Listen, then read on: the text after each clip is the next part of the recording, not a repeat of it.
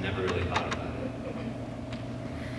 After he called the first group of people, he called the second group, and, and basically, he said, "You come up, you would pick up this nail that represents that you will live your life for God, that whatever you may do, whether it's being a businessman or working at a restaurant, that you would live your life for Him no matter what. Most of us went up and picked one up.